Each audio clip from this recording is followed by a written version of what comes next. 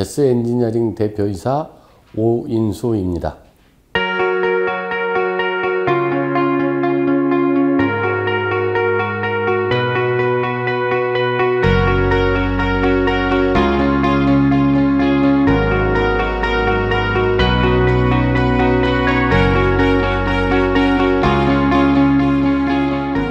제스 엔지니어링은 창립된 지 한 12년 됐는데요.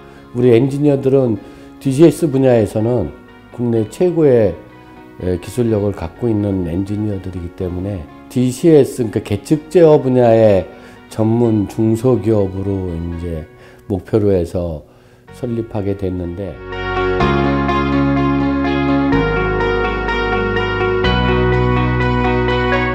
그 발전소 제어 장비인 DCS PLC 이런 쪽에 DCS PLC는 어, ABB라는 이제 국내 글로벌 아, 그러니까 해외 글로벌 회사의 장비를 발전소에서 구입을 하면 저희가 그거를 세팅하고 설치하고 시운전하고 이런 그 엔지니어링 개장 공사 이런 거를 하다가 이제 최근에는 저희가 이제 저희 자체 개발 제품으로 해서 CTCS라고 하는 복수기 세정 장치 이런 쪽을 그 자체 개발 완료해서 지금 상용화를 했고요.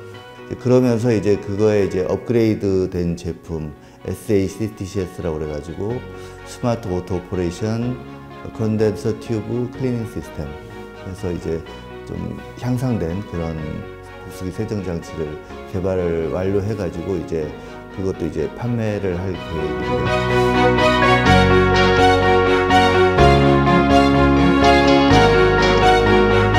계측제어 분야에서는 각 발전사에서 어, 인정을 받았습니다.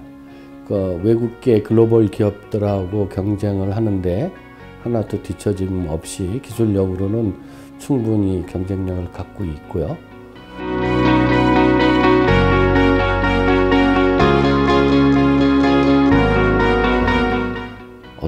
어떤 제품이든 발전소에 도움이 된다면 어, 해낼 수 있게끔 도전하는 생각을 갖고 시작을 하자. 적극적으로 추진하자.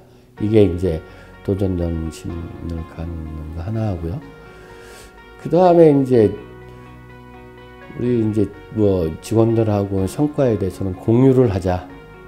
그게 이제 두 번째 경영 철학이라고 하면은 할 수 있습니다.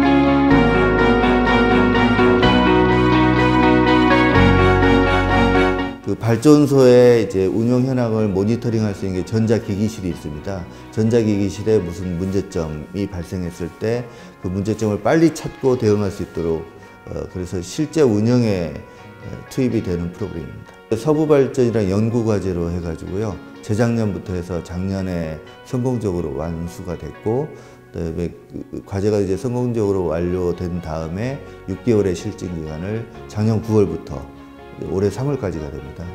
3월까지 실증을 하고 그렇게 되면 이제 개발 선정품으로 이제 추진을 해서 그 위에 판매가 이루어질 수 있도록 그렇게 계획하고 있습니다.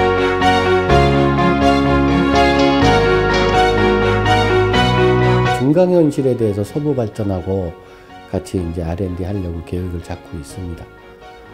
이제 가상 현실을 뛰어넘어서 중강현실 분야에 좀더 관여를 해서 참여를 해서 우리 나름대로의 개발 성과물을 좀 만들어 내려고 노력을 하고 있고요.